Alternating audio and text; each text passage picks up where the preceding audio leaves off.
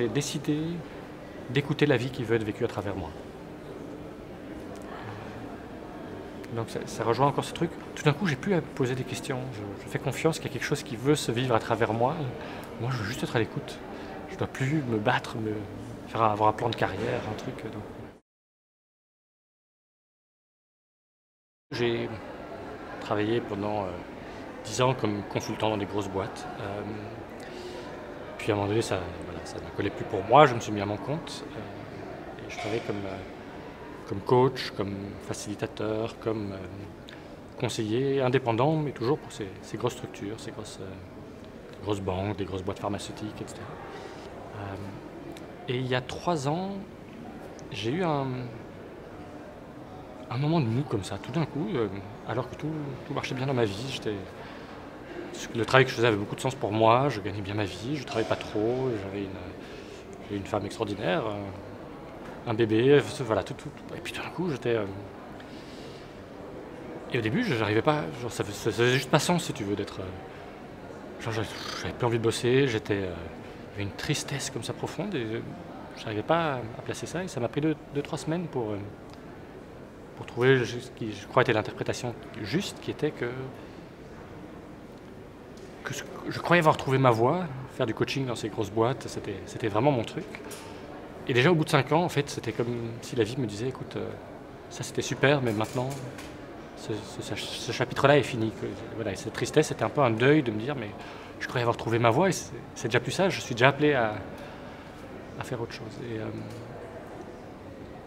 à l'époque, euh, là par contre, ça a été très vite, alors je ne sais pas comment, est venu pour moi une pensée qui, ma petite vie était très, très profonde où j'ai compris clairement que je ne devais plus réfléchir à tiens, qu'est-ce que, quel va être mon prochain métier? sais, on réfléchit en général en métier en termes d'identité. Qu'est-ce que je fais? Je, suis ceci, je suis ça, je suis dentiste. Euh, mais de me dire, plutôt que de me projeter, de me dire qu'est-ce que je pourrais faire maintenant qui serait le truc qui aurait le plus de sens pour moi? Et même pas à l'avenir, tu vois, c'est pas qu'est-ce que je Qu'est-ce que je peux offrir au monde? C'est quoi le truc où je pourrais avoir le plus d'impact? Juste maintenant, quelles sont les choses qui pourraient avoir le plus de sens? Euh, Et là, la réponse était très, très nette, très claire. C'était deux choses. Euh, l'un, c'était de ce projet dont tu, as parlé avec, euh, avec ma femme ce matin sur accueillir autrement les bébés qui, qui arrivent parmi nous. Ça, ça voilà, c'est et l'autre, c'était de faire les recherches que j'ai faites, alors qu'ils m'ont pris trois ans, euh, pour euh, faire des recherches et écrire un livre qui vient de sortir, euh, sur l'émergence d'un tout nouveau paradigme de gestion. Donc, je ne me sens plus appelé à travailler avec ces, grosses structures parce qu'elles manquent d'âme, elles sont. mais la question de comment est-ce qu'on collabore, comment est-ce que nous, êtres humains, on peut se retrouver pour faire avancer des choses, me passionne.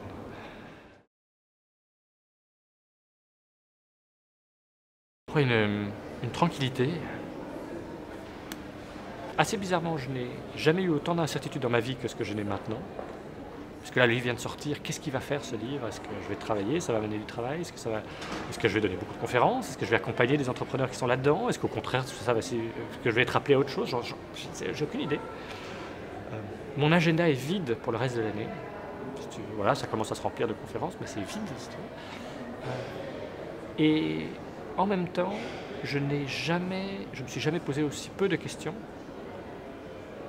parce qu'il n'y a rien que je pourrais faire maintenant qui aurait plus de sens que ce que je fais. Tu comprends la, chose? Donc il y a un, énorme paradoxe. À l'époque, quand j'étais euh, consultant euh, chez, chez, McKinsey, je savais très bien de quoi étaient faites les prochaines étapes. Dans deux ans, je deviendrais chef de projet, puis si tout marchait bien deux ans plus tard, etc. Il y a quelqu'un qui allait me donner le projet, j'avais un, chèque à la fin du mois, etc. Donc tout ça était mais je me posais constamment des petites questions parce que constamment, je n'étais pas au cœur de ce que je crois de devoir faire. Et donc, constamment, j'étais dans ce questionnement. Et assez bizarrement, aujourd'hui, je n'ai jamais, eu autant d'incertitudes que ce que j'ai maintenant. Et je me pose jamais autant, aussi peu de questions. Parce que, voilà. Aujourd'hui, quand je croise des personnes d'avant, de ma vie d'avant, tu veux, qui ne comprennent pas nécessairement ce, ce cheminement, mais si on a le temps et que je leur raconte ça, tout d'un coup, c'est souvent eux qui basculent et qui me disent Mais quelle chance t'as d'avoir trouvé ta voie. Et c'est pas que j'ai trouvé ma voie, je pensais l'avoir trouvée, et puis tout d'un coup, donc je vais. Je crois qu'on ne trouve pas sa voie pour toute sa vie, mais on trouve chaque fois, voilà, maintenant c'est ça. Quoi. Et donc, euh, c'est juste quelque chose où les, épaules se baissent et je fais, voilà, pour le moment, je n'ai pas de questions à me poser. Et puis à un moment donné, je repasserai peut-être par une tristesse ou par un truc qui me dira, ben, c'était très chouette, cette phase-là, mais Coco, maintenant tu es appelé à nouveau à autre chose. Quoi. Euh,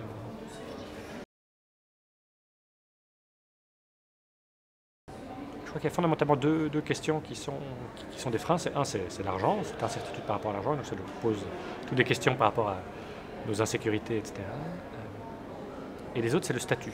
Comment est-ce que les autres nous verront? Heureusement, cette question-là, je l'avais déjà travaillée cinq ans plus tôt quand j'avais euh, quitté cette boîte de consultants. J'avais quitté McKinsey, qui est une boîte euh, qui, dans ce, milieu-là, a beaucoup de prestige et tout allait très très bien pour moi. J'étais. et et quand j'ai quitté ça, j'avais dû beaucoup travailler sur cette question. C'était une évidence que je devais faire autre chose, que je devais mettre à mon compte, euh, travailler plus dans le domaine du coaching.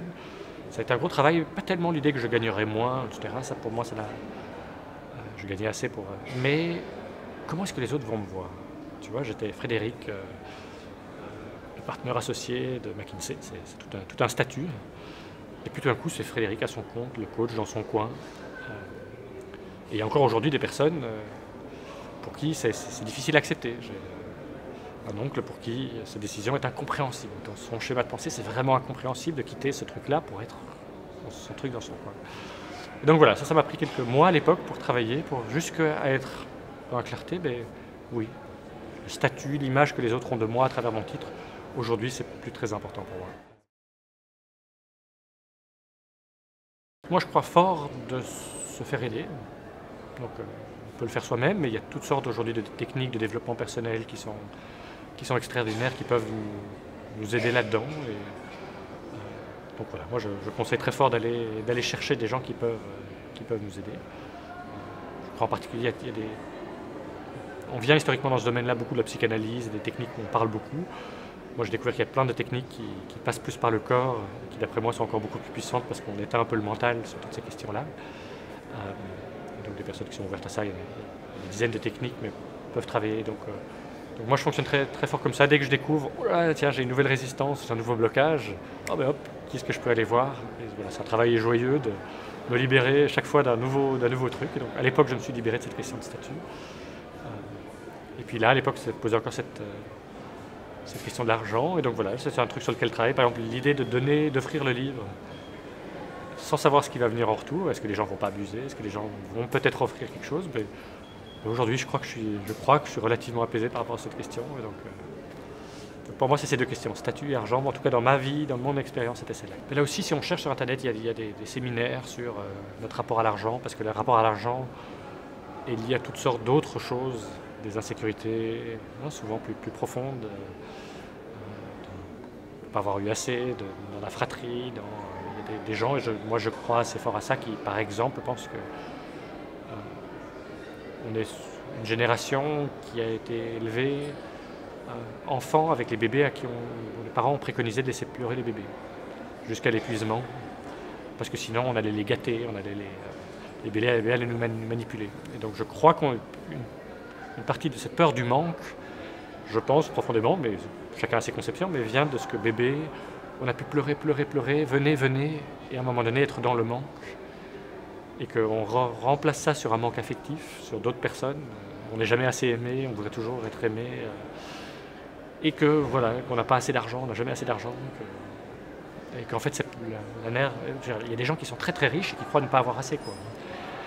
Donc je ne sais pas le, montant qu'on a, et je connais des gens qui ont beaucoup moins que moi, et qui ont l'air d'avoir aucun problème avec ça. Donc c'est pas le montant, c'est notre rapport au manque, à la confiance.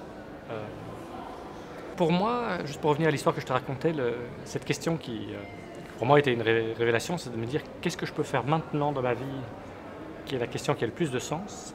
Il y avait un corollaire à ça, alors c'est peut-être une vision un peu spirituelle du monde, mais c'est de me dire si je fais ça, l'univers va m'aider. Et donc, évidemment, je me poser la question après comment est-ce que je vais gagner de l'argent? Il faut bien vivre.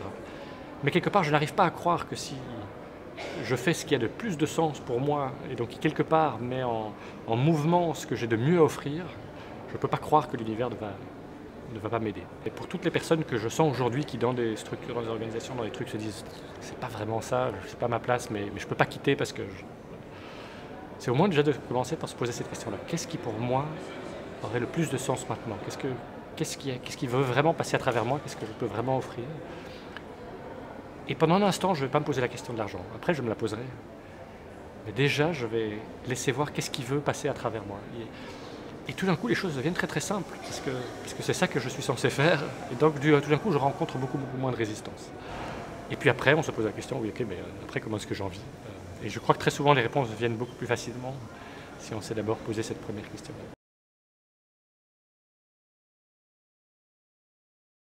Là, je suis étonné à quel point le... Oui, toujours cette simplicité. J'ai l'impression que comme je suis dans le juste, quand je suis dans ma, dans ma force, toutes les choses se mettent, les dominoes tombent.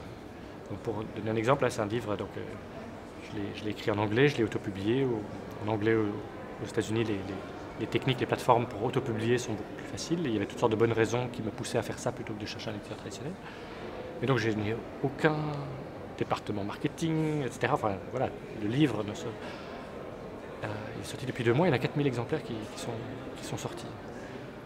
Alors 4000, c'est, euh, par rapport à des best-sellers, c'est, rien, mais, c'est, énorme, vu que j'ai zéro ressource, si tu veux, à ma disposition.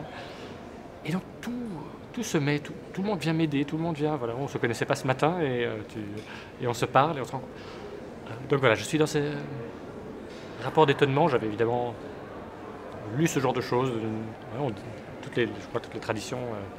spirituels dans le monde euh, hein, disent que si, euh, si, tu te, si tu es dans le bon, l'univers viendra t'aider. Et là, je suis vraiment en train de le, de découvrir dans ma propre vie. Donc voilà, c'est- un étonnement de quelque chose que j'avais entendu, mais qui, a l'air de se faire.